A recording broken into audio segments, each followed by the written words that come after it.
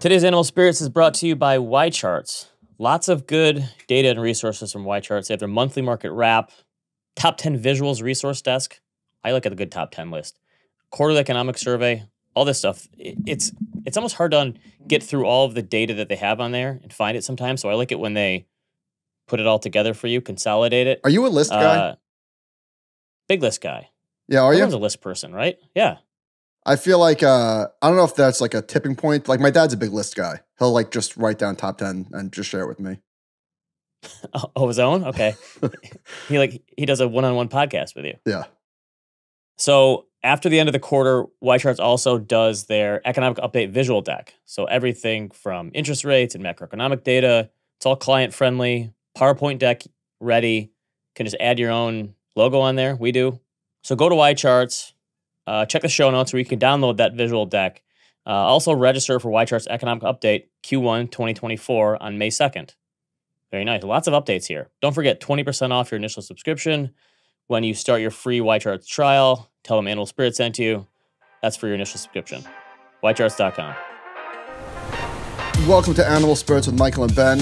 Uh, what's in your ear? What is it? What are those? Those are not AirPods, are they? I, I lost my AirPods and I have these Beats ones as a backup. And I have to say, I'm, it's not ideal because they're the sound canceling ones. It screws with your equilibrium. I do not like. I'm a big fan of the Bose like over the ear noise canceling. I don't like the these, are, noise these are canceling. Bose ones. What's that? Yeah, these are, uh, Beats or Bose. No, but I don't like the I don't like the can- noise canceling inside of your ear. I like the over the ear noise canceling. Yeah, it's it's a weird sensation. I don't like them either. Ben, last week I s- Podcast problems. the podcast part yeah i said that pacer uses uh, free cash flow yield to identify growth companies that was on me that was this is this is attraction. i'm issuing attraction. uh actually they use free cash flow margin Attraction or retraction? that, that was a howard stern reference that was a very niche that was a very niche Okay, reference over if, my head. if you know you know uh and there's a difference so the free cash flow margin that's free cash flow over sales as opposed to the yield which it's been a while since the cfa days but i would think that would be over the earnings so there you have it traction issued hand up Okay. Free cash flow at enterprise value. Isn't it funny when we did the CFA, you literally had to learn all of those ratios. you remember the differences between there was like six different ways to get to free cash flow to the firm and then there was also a different me- metric free cash flow to equity do i know what the difference between either of those are can i even calculate free cash flow? Uh, if i'm being honest no i don't remember that formula. There was like uh, you start here and you back out six things and you add two. I had pages and pages of formula cheat sheets. yeah. Yeah, not very helpful now. um all right. One more california announcement. I don't think we announced this on the show. Maybe we did maybe we didn't but i'm gonna do it anyway. On april 30th josh and i are doing a live podcast in los angeles in the downtown area the arts district i think it's called and our first guest that we're revealing is matt belloni and i cannot wait i listen to the guy every single week on the town podcast we talk about him a lot here Love this podcast. I read him at the puck. He is. Ah, this is a. Yeah, I was about to say the Mike Francesa of Hollywood. That's not true because he's not. But uh, but he's got his he's got his finger on the pulse. Let's say that. So he had the CEO of IMAX on last week. Did you listen to that one? I did. I it got me a little uh, a little intrigued in the stock. So the interesting thing was he said so IMAX made up less than 1% of Dune 2 theaters, right? Because IMAX, it isn't everywhere, but it, it was 22% of the revenue or something like that. Just mind boggling, right? Yeah, I we're gonna put a pin in this because I have more to add when we get into recommendations. I saw Civil War, and I've got Okay. I've got some takes on the IMAX, AMC, et cetera, et cetera. All right, Ben, what's on your mind? All right. Uh, where's our correction? We're in it. Like, let's do it. This so as of through Monday, we're taping. We don't do the time and date anymore as much. That used to be your thing. It's Tuesday morning. Well, sometimes I like to give a timestamp. I should do it more often, just so that the audience knows. Hey, listen, it's possible that we're not talking about something that came out after we're recording. We're recording pre-market Tuesday morning. Uh, so the S and P as of close on Monday was down three point seven percent. That's what the biggest drawdown. the? Probably pretty close. They're in correction territory, I would guess. Let's see. It just seems with everything we've like. Let's do this. This this this is nothing. You call this a correction? No. You know the remember the scene from uh Crocodile Dundee where he says, That's not that's not a knife. This is a knife. Right? Like The a Qs are only down 3.4% from their highs, too. Wow. It with with everything going on in the world, with inflation being sticky and the Fed not cutting and war in the Middle East and all this stuff, I guess I, I'm surprised that we're not down more. I'm surprised, too. But listen, be careful what you wish for. Give it a day or two. That's true. Oh, hey, corrections are a good thing for many investors, I agree. right? They're I'm just- necessary. uh, I didn't want to say evil. They're they're they're just a part of it. I, w- I was thinking last week, trying to come up with a name because we like to label things. It's fun. You know, a lot of people in relationships in like high school, they're like, I'm, I'm not, I don't like labels, right? That's what you're saying. we don't want to date someone. I don't like labels. What are we? but, but I'm a, yeah, yes. What, let's define this. I'm a label guy. So I- I'm, I'm going to tag this the yeah, but bull market. Not bad. Okay. Because I feel like there is a yeah, but for everything. Yeah, but government debt. Yeah, but deficit spending. Yeah, but market concentration. Yeah, but inflation. This is the yeah, but bull market. Yeah, I like it. I like it. Jamie Dimon was. I don't know if you read his investor letter, but it was. It was written as if we were in a global crisis, and there are obviously many issues in this country and all over the world, as there always are.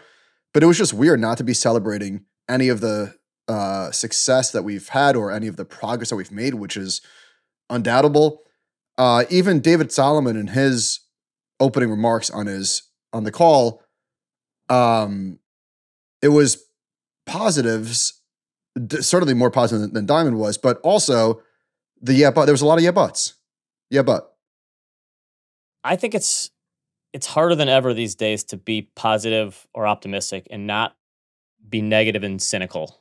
I think I think it's never been harder to to take a more sunny approach to life. well, I don't know about that. Never been harder. You don't think that we're just I feel like we're just inundated with negativity and complaining and I I've, I was going to talk about this later, but someone made a comment last week and it said uh, if Ben was president, he would criminalize complaining about inflation. And uh, we we had a lot of people that that actually a, a handful of people emailed us and said uh, I actually like the balance in animal spirits because Ben is looking at the economy and inflation through a more rational numbers approach, and Michael is more empathetic, uh, which doesn't paint me in the best light, obviously. But but, but I, I've been trying to look at it through a more clear lens of of just the numbers, and I'm and obviously I know. But my whole point is, I feel like with social media and the and the internet and everyone having an opinion, uh, like complaining is is turning into a personality trait yeah, it's in vogue, and I don't like it. Because it's an easy way to get other people to coalesce around you. Yeah. And so my thing is like I understand that there are people who are the there's bad things going on, and the thing is the world has always had really crappy stuff happening in it. It's just never been easier to under like to be hit over the head with it, and that's why I try to provide a sunnier outlook uh, because I'm trying to negate that a little bit. So I I get it that people complain and people are in bad position, even though like the overall economy is doing well. My whole point is I think sometimes people need to hear the the hard truth of complain, get it out of your system, and then move on and deal with it. Sometimes you just have to play the hand you're dealt, and that's that's not like an easy thing to hear. But I think that's. Yeah, listen. When I went bald, did I complain? No, I just wore a hat for ten years. Did you turn into a big hat guy? Is that Oh is that why you wear Well- hats all the time? Well, I, I well, I was always a hat guy, but once I started to go bald, it never came off. okay, I can see that. That makes a lot of sense. See, you you you played the hand you were dealt. you turned into a black hat guy. Uh, we have talked a lot about in the last few weeks, like holding 10 baggers, right? Like the people who have the ability to hold NVIDIA all the way through all the crashes and, and the big gains and not sell after like 100% gain. And we heard a bunch of good feedback from people on this and, and how they do it and that sort of thing. But it, it got me thinking, like, wait a minute, we're we're gonna hold a 10 bagger eventually. It's just it's gonna be in an index fund. So I had our chart wizard Matt run this for me, and I I looked at the investing at the beginning of each year going back to 1980, and like when was the last time we had a 10 bagger? And actually, if I wanted to to really cherry pick the data from the bottom in March 09, it's a 10 bagger. Oh wow. I assume right, this is total return. total returns. Not But the the last year, if you did the beginning of a year, it was like 1997 is a 10 bagger. Starting at 2009 is pretty close. It's a seven bagger. But if you go to the early 80s, we're talking 100 baggers. Uh, early 90s is like a 30 bagger. So the the longer you you longer out you go, even in the regular stock market, there's there's baggers there. I am doing some work on the likelihood of picking a 10 bagger in a stock and what do the 10 baggers have in common. It's complicated. It's a complicated exercise because, well, the data is hard to get. Like if you look at the Russell 3000 going back to 1990, I think like only 15% of the stocks today were even in it back then. So I'm All working right. on it. I'm working on it. Once I have what I have, what I need, there will be a blog post. There will be charts. So when do you think? How long do you think it's taken Nvidia to be a ten bagger? Like going from right now, how far back do you have to go for it to, to invest in it be a ten bagger? 'Cause I looked at Um, this. 2017. It's like 2020. You invested in the spring of 2020. Not even the bottom. It was like May. That's a ten. Nvidia is a ten bagger. kind of amazing, right? Well, but there was a 70 plus percent drawdown in there. And that's the thing. True. All right. Torsten Slok, a regular on the show. The U.S. produces more oil than Russia and Saudi Arabia. This is global crude oil, and the U.S. is number one, Russia two, Saudi Arabia three. And I, I pulled up the, the chart of oil, uh, and it's essentially gone nowhere for the past eh, 15 years or so. I mean, it's rising a little bit, and but it's it's really gone. If you took like the average of oil over the last 15 years, we're probably at average so we have simultaneous this is back to like the correction thing simultaneous wars in ukraine and middle east and oil has gone nowhere for 15 years macro is really really hard i, I, I wouldn't have believed that remember we hit 120 in the spring of 2022 right when the war started oil is still down 30% since Hmm. then I, Yeah. i'm just this is it's it's another surprising thing to me Yeah.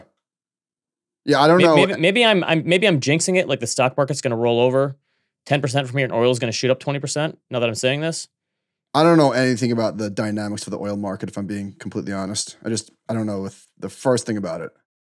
I think the maybe the point though is even the experts don't either, because how many of the experts said two hundred dollars a barrel? Here it Fair. comes. True. Yeah, yeah. Um, Maybe no one does. Ben, we've spoken a lot over the years and more recently about index funds and the fact that they're over 50% of all assets in mutual funds and ETFs and what are they potentially doing to prices and price discovery and all that sort of good stuff. And all of that is debatable. Nobody, you know, I don't think we're going to get to the bottom of that and solve that. Um, but there's one part of it that I feel like surely we can do better. And when I say we, I mean the index committee, and I don't know what the solution might be. But here's what I'm talking about. Jeremy Schwartz, was this Jeremy? Or I know it was WisdomTree. Hold on, I don't think it was Jeremy actually. Uh, oh no, Yeah, it was Jeremy. Joseph Attia, his his uh, research person, and Jeremy wrote a post. Will the growth of indexing lead to its downfall?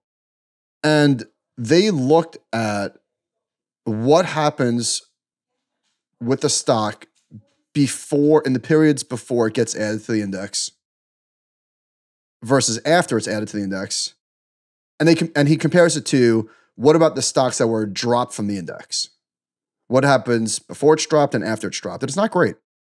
So one month before a company is added, let's stick with companies that are added. One month before it's up 4.4% on average. Two weeks before it's 2.6%. And then a month after it's negative one. Three months it's negative two. Six months it's negative three. 12 months it's negative 5%. And then I'm not going to read the numbers, but it's effectively the exact opposite, but even more extreme from companies that are dropped. So 12 months after a company's dropped on average, it's up 16%. All right, so you get a lot of front running in both directions. So in terms of removing companies um, and then having them go on to have good performance, that's out of their control, right? Because they're removing companies almost by definition that just don't meet the criteria anymore, and they don't meet the criteria because they're not great companies, and therefore the stock prices don't aren't good, right? So the So- question is, why do they need to make this public? I know Yeah. they have to tell the ETF providers and stuff. Why do they have to tell yeah, everyone can't else? there be like an embargo or something? Now there's always going to be people that like figure out what's coming and going, um, but I feel like there's got to be a better way.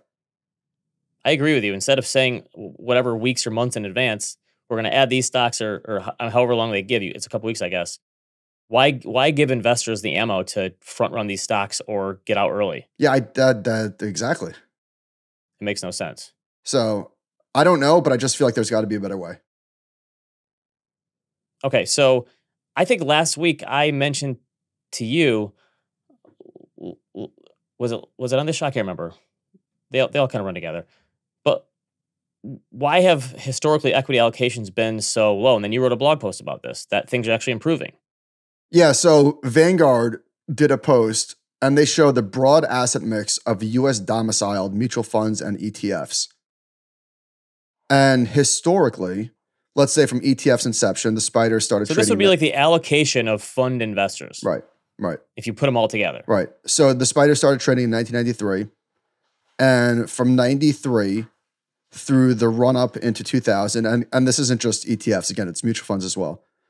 Uh, the household, let's just say household allocation to equities doubled. It went from 30%, 33% to 62%. And then with the crash, it dropped all the way down to 40%, the allocation to equities. And then right at the peak in 07, it ran up again to 63%, but before crashing back down to 36%. That 2009 period is wild. So money markets overtook stocks at the bottom. Wow. Yeah. Yeah, they did. Um, and then since. And then it's a 10 bagger since then.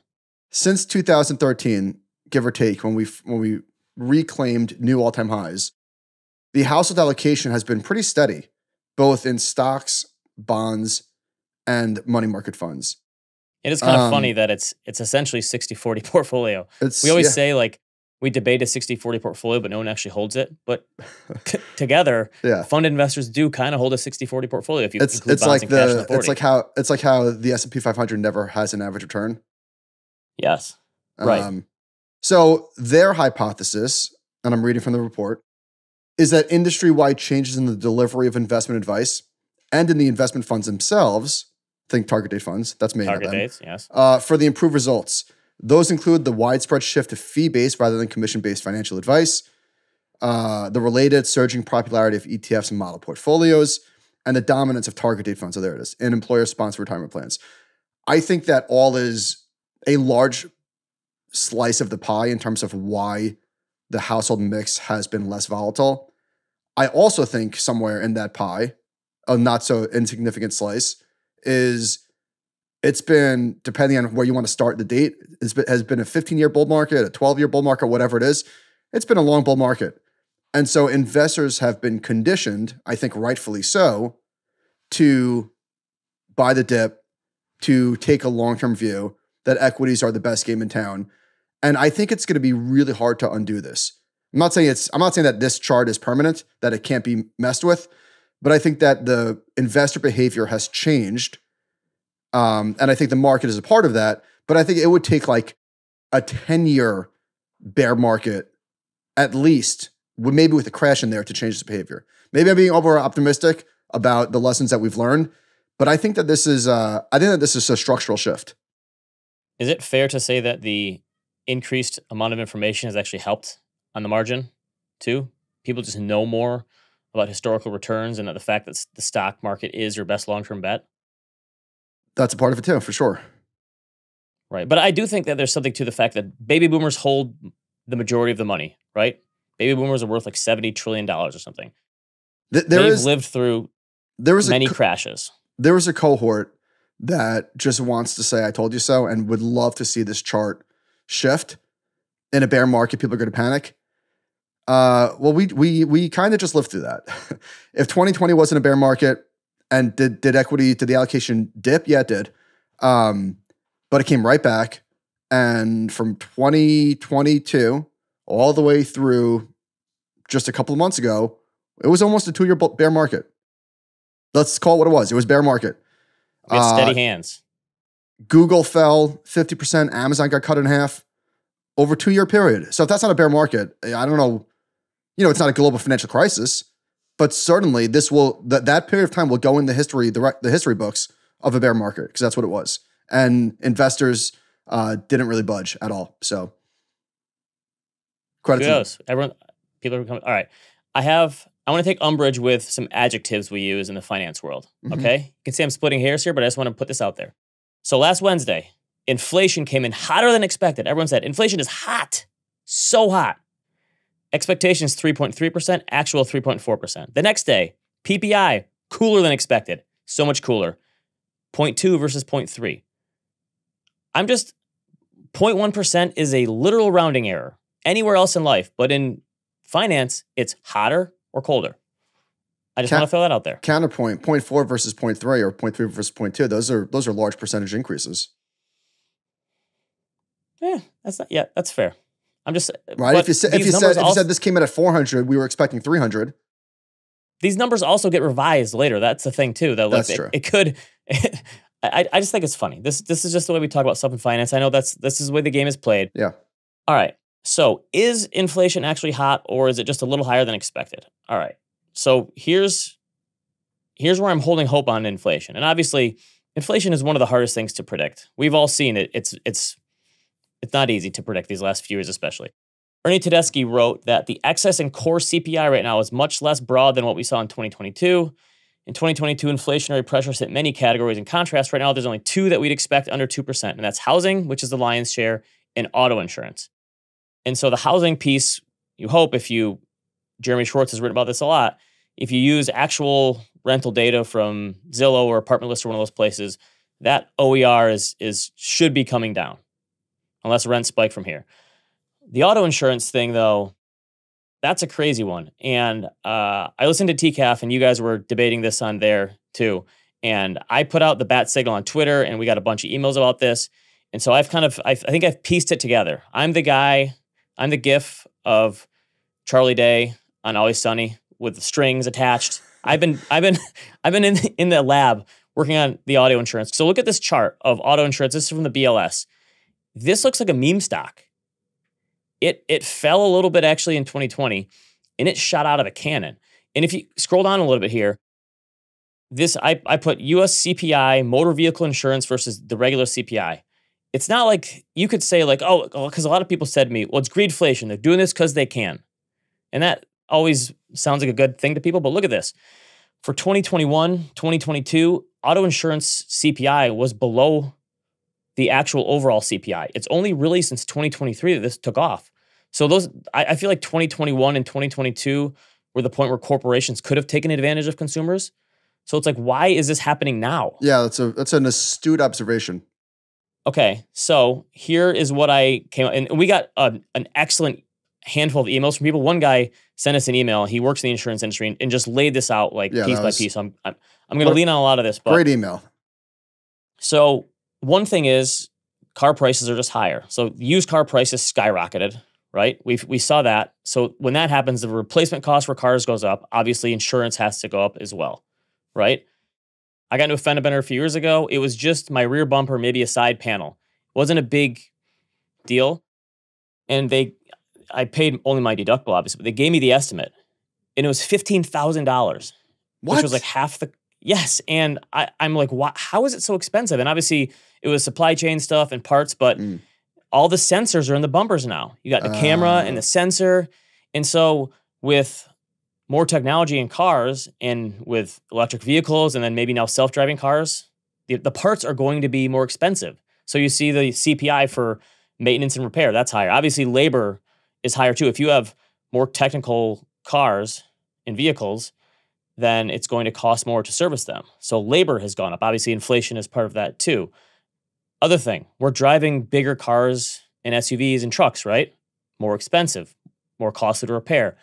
This one, this one was surprising me. I did not realize this. So we're at a last year we had a 40 year high in pedestrian fatalities. And one of the thing, one of the, a couple of the stories said when traffic was reduced on the road during the pandemic, the roads were more wide open, right? So people started driving faster. And they said on average, people were driving 10 miles per hour faster and maybe a little more reckless. And that behavior didn't change once more cars came back on the road. So they're saying the pandemic caused people to drive more reckless. And the other thing is, people have cell phones. How many times do you see someone staring down at their cell phone? All the time. Every time I'm on the I, car. it pisses me off. And when someone's like coming at you and they mm-hmm. kind of jerk back, right? Right. And So that is a lot of studies have shown that's like worse than drunk driving. So you basically have like a bunch of drunk drivers on the road driving these bigger trucks and SUVs. And so that means there's more big accidents. That means more payouts from insurance companies. So Okay. one of the things that I said on TCAF that I was dead wrong about apparently was like, I, I assumed that they were taking this to the bottom line. And I would have assumed that too. this emailer said, uh, an easy metric of profitability to look at in insurance is combined ratio for every dollar of premium coming in, how much is going out. Most insurance companies are losing somewhere between three and 15 cents for every dollar of premium they're earning right now. Uh, the exceptions are Geico, their expense ratio is super low after massive layoffs, Progressive, but many others are still eating it from a profitability perspective. That that blew my face right off my head. Yeah, so I, I was I'm not gonna lie, I'm surprised too. So it's not like these insurance companies are rolling in it. They're paying out so much more in claims than they're taking in in a lot of ways. And well, also this also feeds into the feelings part of inflation because fucking insurance, you don't Yes. see any benefit from that. It's Yes. like, wait a minute, why am I paying four hundred dollars more a year for something that a I don't even use, God willing, and b I don't derive any, I don't like perceive any benefit from that.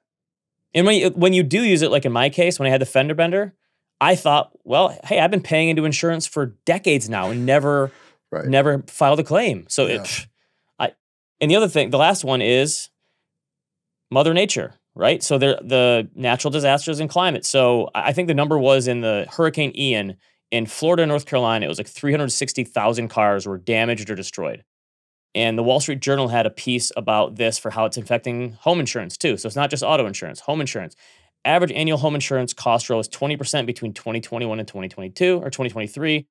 Uh, another 6% increase is projected in 2024. Uh, so they say uh, rates rose by 10% on- in average in 19 states in 2023 after a series of big payouts related to floods, storms, wildfires, and other natural disasters across the U.S. So this is home and auto. So my question is, what stops this? What slows this down? Beats me. Remember that phrase? Like when you know the answer to something, you'd say beats me.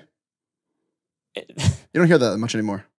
but but it seems to me that a lot of these trends for again more electric vehicles and more technology in cars and people still driving these bigger vehicles unless we ban cell phone usage in cars somehow so you can't text and look at your phone like an idiot what's going to stop this trend I don't know. i don't think it's going to get better I'm just learning about it. I'm just catching up. So yeah, I don't know. I have no idea.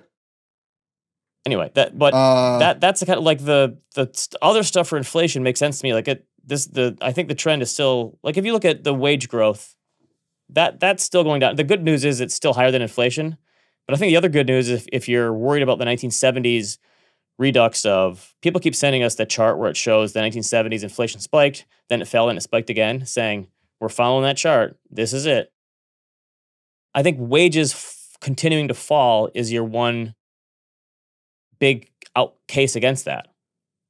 Right? wages are the thing, They are. right? So I think that, and, and a lot of people were saying this. In fact, this is something that a lot of people got right about inflation. A lot of people were saying that the last mile was going to be the toughest part of it. And that's proving to be true. Yes. Going from three to two. I, I still Yeah. I'm still in the camp that three and a half percent essentially is the long term average, and we're there. Call I I I if I was the Fed, I'd they can't say this, but they could. Yeah, we're there. The, I'd be worried again if it was above four. I guess that's when I'd call it hot. Well, you see the thing the the last week on TCAF, we were talking about a chart from Michael McDonough over at Bloomberg, and he shows the components of CPI that are rising at more than four percent, and that's going a lot higher. More than you'd think. Yeah, so it- you know that part of it rolled over, and it's it really is reaccelerating. So This is another area though where I feel like information is both good and bad. Like when did pe- pe- how many people in the 70s knew all the components of inflation? 5? Like 5 economists in a room somewhere? Uh, th- that, that that's kind of cool and kind of that that we can all just look at this data now whenever we want if you want to. yeah, thing is, people there's a lot of people don't even believe the data. Well, yes. I mean, a lot of people. like a lot of people. Yes. Obviously, the data is imperfect, but the I, the the trend that's what you want to understand. True, and, and there is there is true, and certain components of the data are certainly imperfect. Yes. But and we in the aggregate, and, and we've always said no household's actual average inflation equals to the overall average of the country. It's impossible because of the standard of where you live and what you spend on housing and what your household budget looks like. It's impossible for anyone to have the actual inflation rate of the average. It doesn't so happen. getting back to the insurance stuff, what's going on with home home insurance? Well, that's the same thing. I I that, I meant to mention that too. It's just the the for that it's for that it's more climate change stuff. It seems like, and houses getting more expensive to build, and obviously, the inflation component. If the if housing prices rise fifty percent, and your house gets destroyed, guess what? The insurance is going to have to make a bigger payout. So some of this is just general insurance, and some of it is these idiosyncratic factors in these spots where it's not going to it's not going to this is another one that's it's not going back that's for sure unless i, I mean i guess you could see with autos more of, of auto prices falling but unless everyone decides to turn in their suv and their truck for a honda accord like my dream is i these these rates aren't going back Here's another one that's not going back. We got retail sales yesterday, warmer than expected. Um, look at the again, Michael McDonough has this great chart. He breaks it down non-store retailers versus general merchandise stores. And non-store retailers, that's just that's online. And they got to come up with a better name than that i saw i keep seeing non-store retailers I, why don't we just call it e-commerce? yeah they must have came Or- up with that name before online or people spend a lot online yeah it just doesn't sound right You know what's but it's what what's interesting is the online piece of it is just that's a secular shift higher and there's no slowing that one down. But look how look at the like jump we had during COVID. And we a, a little bit of that came back as the economy reopened, but we're pushing back towards all-time highs. if you wanted like one graph to understand the economy, it's this, isn't it? We just keep spending. And obviously, higher inflation is a piece of this too, but we just we love to consume in this country. In this chart, did anything stand out to you in terms of the components? It's very pretty. little The colors are see. very pretty. Colors are pretty. Uh I mean, it's the non-store thing, right? Yeah, that was a big one. What happened in March? Was it Cyber Monday? I don't know. That is a good question. Just we like to spend. Okay. Uh, another one from Torsten Slok. The getting back to the travel boom. Because of significant rise in the stock market and significant cash flows from fixed income, U.S. households have more money to travel on airplanes, stay at hotels, eat at restaurants, go to sporting events, amusement parks, and concerts. That is why inflation in the non-housing service sector continues to be so high. He shows again a record high share of the population is planning to go on vacation in a foreign country within the next six months. And this Hmm. this is a What a chart. it's a massive rise from so it, it's showing more than one in five people, almost one in four people are planning to leave the country for a vacation in the next six months. And still, we could trace this back to COVID. It's uh, we're what three and a, three years removed. So someone wrote in, I talked I complained a couple weeks ago that the JW Marriott in Marco is just ridiculously higher priced than it was uh, even a few years ago. And It's called capitalism, son. someone responded and said it used to be seasonal travelers right and that's why you'd get a spike at spring break probably and some other christmas or wherever but now it's it's year round people coming to visit Unbelievable. and i think that's that's part of it By the way, just real quick, I, uh, before I don't want to gloss over this on the inflation part. You know who thinks inflation is going to be higher for longer? The market. Look at the bond market. it it's hard to- well you say the market does but it hasn't impacted the stock market though so why is that Well, I, don't see that as. Uh, I feel like you're that's a you're that's a you're deflecting. I'm talking about the bond market. okay so the two year yield is back to oh wow 5% again for the two year 10 years and the 10 four years seven and yeah i mean the bond market is uh remember the meme the, the this meme with the bond market something like that it I just have trouble trusting the bond market because it was caught so offsides the last time when rates shot up to five percent. so you don't you don't trust you don't trust the cpi subcomponents going higher you don't trust the bond market what do you trust I have nothing, no one. I don't. That's why this is so hard because this year, none of these years have worked out how anyone thought they would. This year, we were going to have six rate cuts, but it was because the economy was going to be slowing, and and if anything, the economy just Here, listen, you could say these two things. Clearly, inflation is, well, maybe not clearly. Inflation is not going in the right direction temporarily that we would hoped. And the bond market is confirming that. You could also say that that doesn't mean that the bond market is right. yes, and I, I, But for now, that's how it's interpreting the the data that we've and I think receiving. the stock market agrees with me.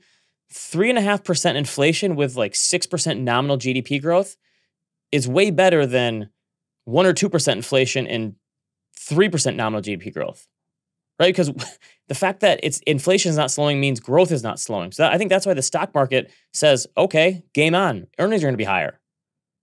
Yeah. Th- listen, this is a phenomenal excuse for the stock market to cool off. And it looks like the market is taking that. Uh, Yeah, that that's what I'm saying. Is like it. uh, I'm surprised that the excuse isn't being used more. Like let's let's do it. But I, I mean, I guess we did just have a 10% correction in October. Uh, okay, Wall Street Journal has a piece got shared pretty widely on social media. I don't think of myself as rich. Americans crossing Biden's $400,000 tax line. Now, this is supposed to be a, an article about uh, $400,000 being like the line in the sand now for you should pay higher taxes. And it's supposed to be a tax article. But to me, this is a how do you view yourself article. And am I really rich? So nobody views himself as rich. Pretty. It's pretty incredible. that's the that's that was my takeaway. So according to this article, 2.6% of households make $400,000 or more. It's a very small share. They also have this this chart where they show it by state. And so Michigan is, I don't know, less than 2%. New York is one of the higher ones. I guess DC is the highest at 6.1%. But I mean, come on. We're we're really calling DC a state. no. All right, only for the but they so they have these these people they interviewed in here and this this one guy says, I don't think of myself he makes 400 grand or something. I don't I don't think of myself as rich. I think of myself as having worked really hard. Uh, I've hit the American dream and I'm going to have to pay more taxes. That doesn't feel great to me. It's demotivating. Another person actually said, We have a pretty. Wait, wait, wait. But wait, I just on that. That's an interesting quote. I don't think of myself as rich. I think of myself as having worked really hard, because in in that person's mind, they don't like to be called rich because they feel like it it cheapens the work that they put in. They they they he, they hear rich, but they think luck.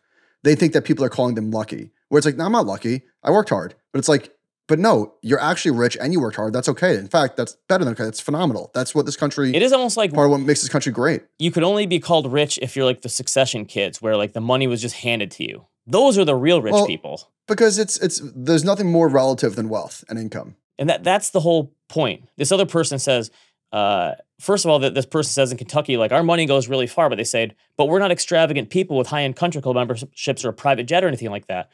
What percentage of people do you think actually fly on private jets? Is it the 0.1 Zero percent? point zero point what? I mean, point the 0.1 percent, maybe. I would say there's like multiple decimal places. Zero point zero. Well, yeah, I guess there's zero point zero point one percent probably do. But I guess that th- this is another downfall of the information age. Is you just it's so clear that there are other people who have these other things that you don't have, and so you don't ever get to the point where you feel rich. Yeah, because now you're not just comparing yourself to your friends, you're comparing yourself to celebrities on Instagram, and that's a tough that's a tough hurdle to clear. Yeah. So it, it, it is just kind of sad that people who are in the top two or three percent still don't feel rich for whatever reason.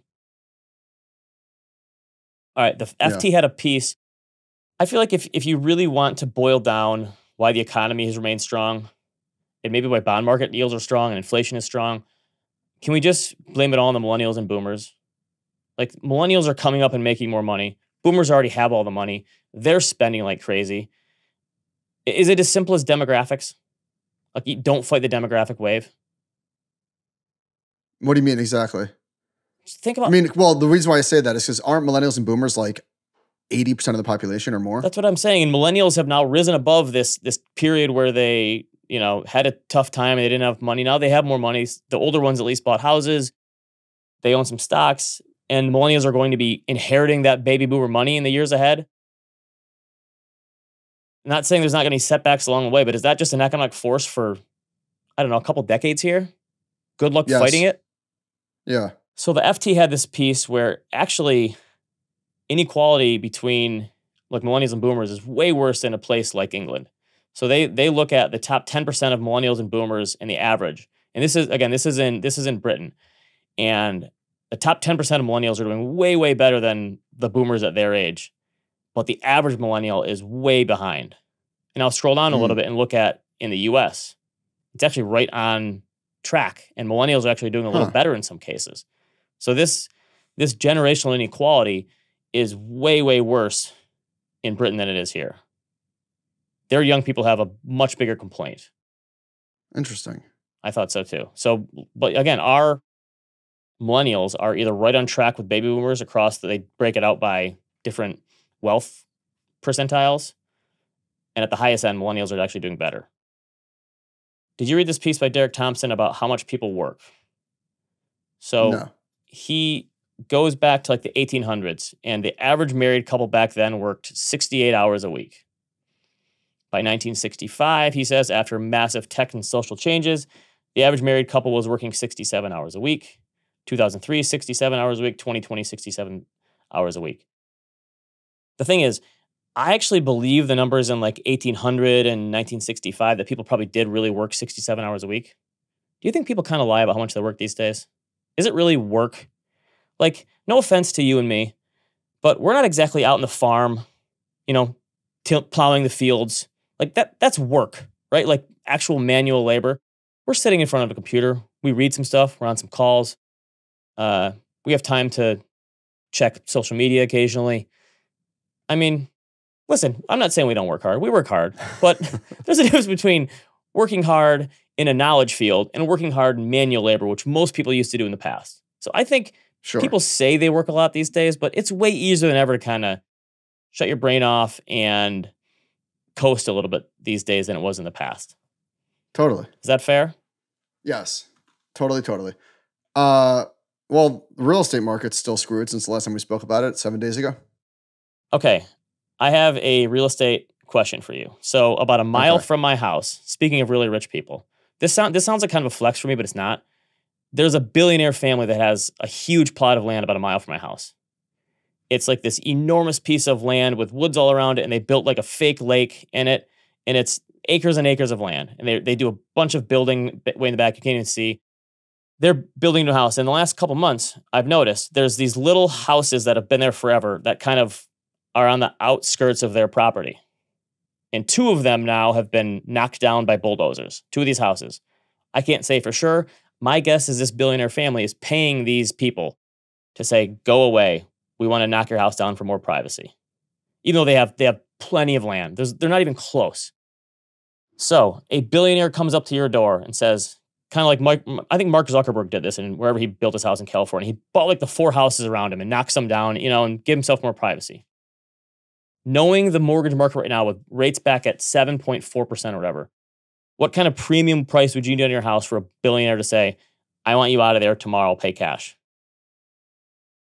Because you'd need a premium for that situ- situation, right? Because you know what, what would premium would you would you accept? I don't know what's reasonable, like maybe double over what my new replacement cost would be. So if I'm spending an extra hundred thousand dollars a year on a mortgage, that sounds ludicrously high, but whatever. Let double that, whatever it is, I double it. The funny thing is, is if you c- calculated what it would be, the extra cost, it probably is. It's it's, it's high. Actually, no, my house with the new mortgage, I no, I looked at it would be over ten grand. So that's over a hundred thousand dollars. So I don't know, give me a quarter mil. You'd capitalize that. Yeah, No, but wait, but I I need a I need a hassle premium. that's Let's what I make mean. it a cool million. It would it would Yeah. it would be a big premium on what your price is. No, moving is a no, moving is a hassle. So if I was selling a house, I'd be getting worried.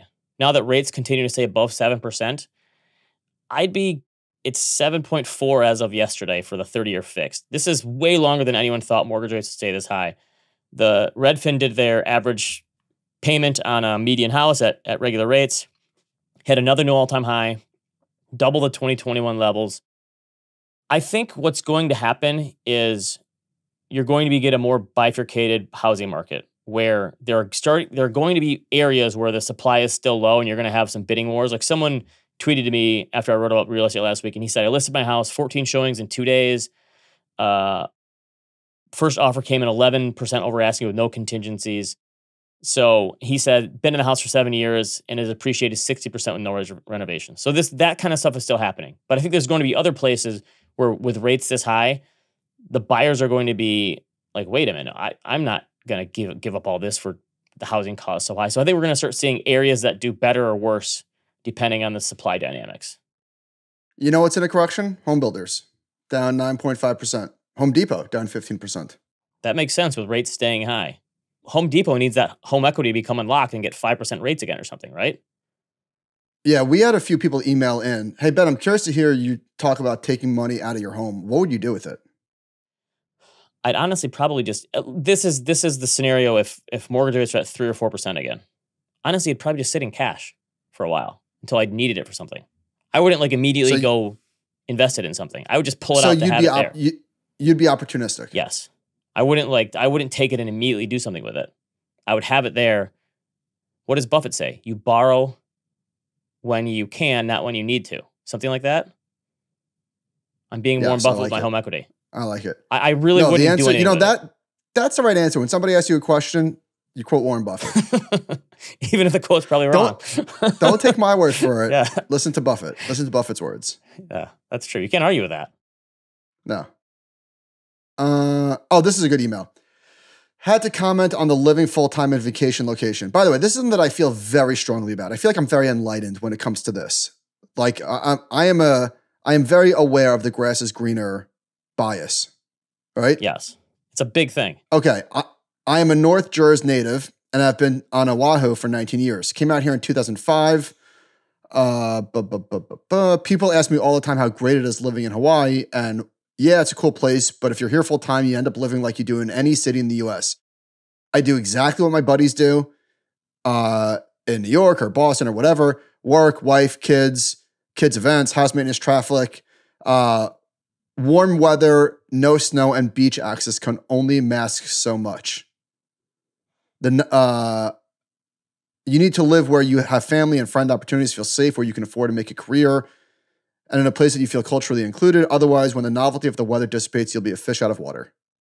It is interesting. The, the novelty of it kind of goes away. Even a beautiful place like Hawaii.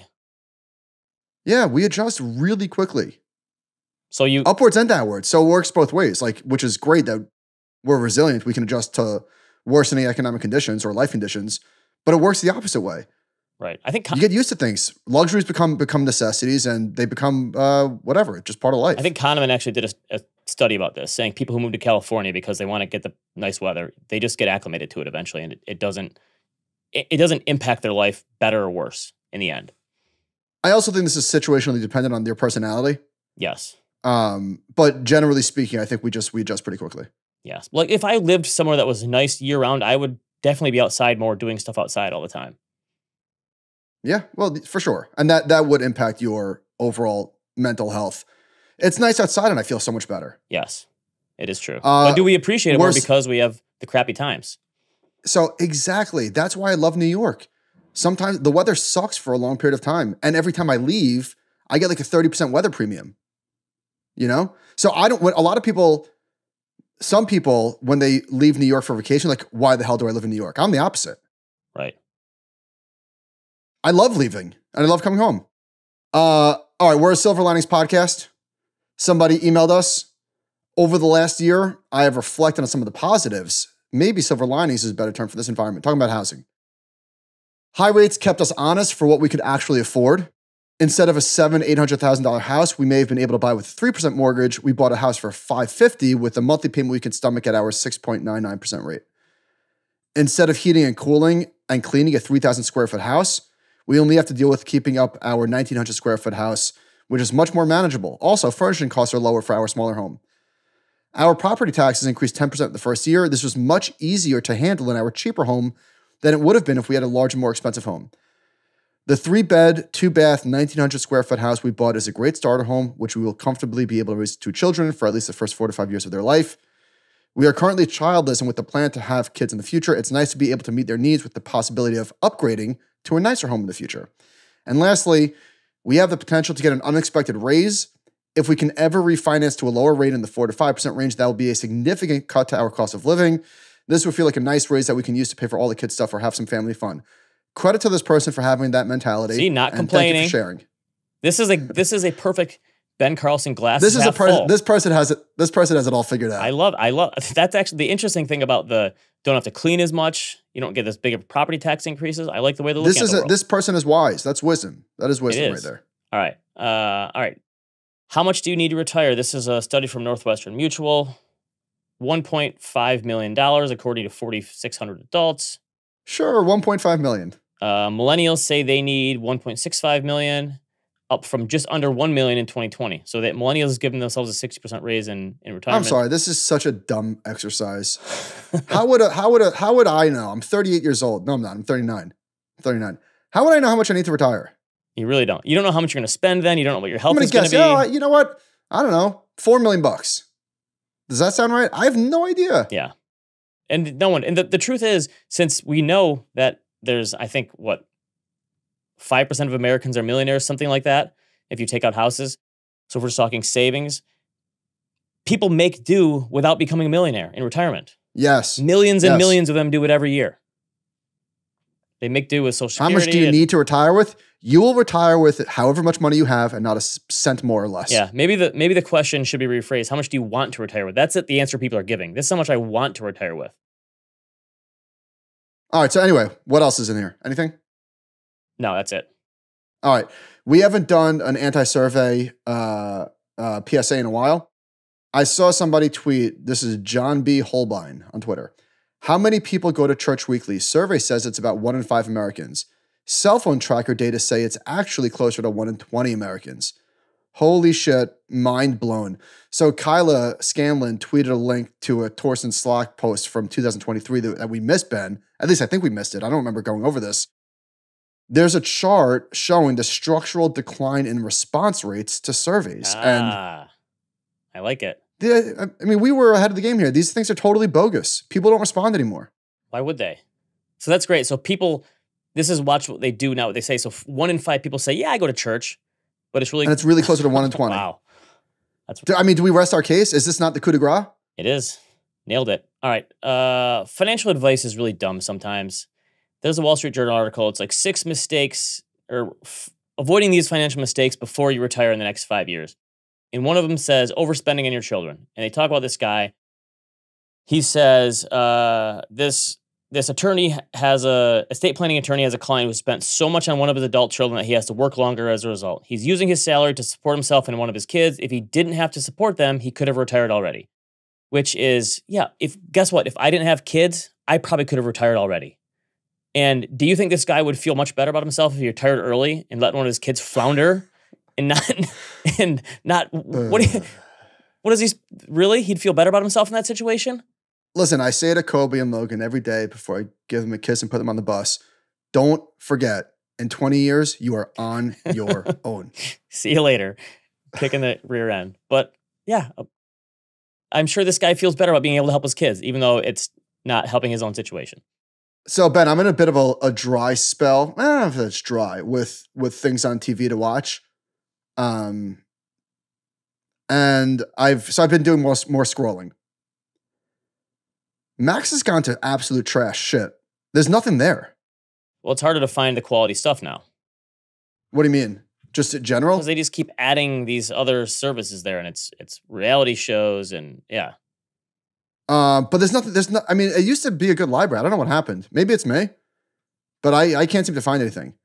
And you know what? Conversely, you know it's actually got a pretty decent library. Peacock, not bad. You know the the problem is there's so many streamers now. It used to be where every month you'd get a ton of churn and you get a bunch of new movies here and a bunch of new movies there. And now they all, all own their own libraries and they're not sharing as much anymore. So there's no there's not as much change. So when you scroll, you feel like you're seeing the same thing over and over again and nothing new because that's the best part is being like, oh, I didn't know this was streaming and I watch that now. You don't get Yeah. that as much anymore. Yeah. Um, we got a bunch of emails talking about why do Midwesterners go to the west coast of Florida, East Coasters go to the East Coast. It's the highways. Yeah. I mean, we totally missed that. so- it's that highway goes to this side, this highway Yeah. goes that side. It, it was as easy as that. Ben, I've had several experiences in the last, call it two to three weeks, where people have either just been dicks, for lack of a better word. Just, I am, I am of the ilk. Just do the right thing. even if it's uncomfortable, even if it is something that you you're potentially giving somebody news that they, you don't think they want to hear. Sometimes you just owe you just owe it to somebody to just tell them the truth, right? Okay. And so I've had a few experience with that that really that annoyed me. I've had some customer service issues that really annoyed me. Audi. But then on the flip side, I had two experiences that were so wonderful that uh, almost made me even more mad about the way that certain people handled certain situations. I'll give you an example. I bought when we were in Colorado Springs. I bought there was a boutique, like a antique store, with all sorts of really really cool stuff. They had like uh, Lincoln signatures and swords from Gettysburg and George Washington pictures and signatures and Declaration of Independence, like really really neat stuff. Those would make awesome NFTs. Yes, totally. Uh, that's what I was thinking. And so I bought a map from 1964 of Long Island, and she shipped it to me. And it like it it it sort of it's I guess it's glued to the parchment paper. I don't know what I'm talking about, but it it, it, it fell down, and so it was crooked. And I emailed her, and her response was, "I'm so sorry. We found a local res- restoration place or whatever. It's already paid for. Just go drop it off." Wow. I was like, that's that's how you treat people. That's hospitality. That's customer And service. that's, you would recommend that place to someone else in the future, right? Hey, One hundred percent. I made it. my- I don't. I'm not a collector, but maybe who knows? Maybe I'll go back. Another example. I signed a contract where the person. It's a monthly fee. The person told me the fee verbally or or via email. The fee that they quoted was higher than the fee that was actually in the DocuSign, the legal document. So I signed it and I said, "Hey, just an FYI, there was a disparity." And this person said, "That's on me. Uh, you know, keep it. Like we'll we'll honor what we put in the My contract." mistake, right? And I said, you know what? Like, good for you. I really, really appreciate that. Like, way to start a relationship. And uh, it's just like simple things. And I don't mean to lecture, but the the people that like didn't do the right thing, it was just like such common decency, like courtesy, right? Just get back to people. Like, don't leave them hanging. Just common shit. And so when you see something good, it really stood out. And I don't know where I'm going with that, but I just wanted to share. Golden rule. I tell it to my kids all the time.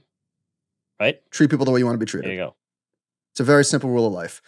Um, all right. So speaking of recommendations and streaming, uh, oh, Neal Brennan has a new special on Netflix. He's one of the few comedians that can consistently like make me laugh out loud and not just say like, "Huh, that's funny." Very intelligent humor too.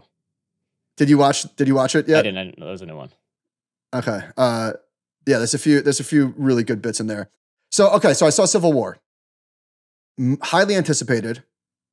The trailer looked incredible, right?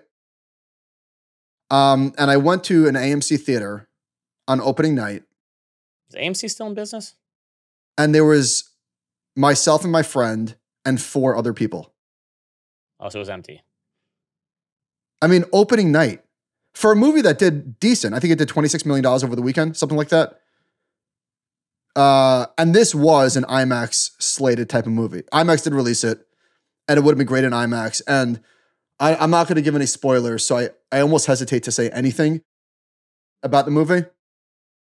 Um, other than I will say that I very, very much enjoyed it. And I think it definitely got a 20 to 30% in theater premium. Okay, even though no one else was there. Well, just yeah, the experience of of the bullets whizzing by and it just being really loud and it was effective. I thought it was really well done. Okay, so last week I said great movie plot would be listening to an old song and it takes you back to that time. And this wasn't like a deja vu moment for me. I, I'd never seen the previews.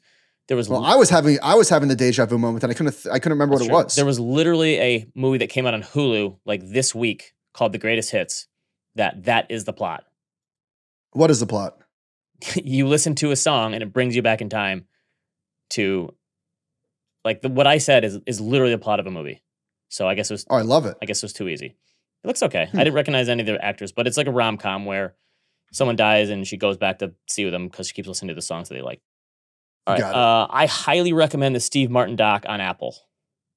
It Apple is one of them that I feel like they don't really advertise much. You turn on Apple TV. What you said you know you you turn on something, there'll just be something with a really good and so it's a two part doc, and I I I'm- I'm a huge huge fan of Steve Martin. He was his whole shtick was I'm going to be like the overconfident idiot, and my co- comedy stand up is going to be so weird that it's going to stand out to people. And it's it's the funny thing is, is it's it's not even technically funny his stand up, but the way he does it makes it funny.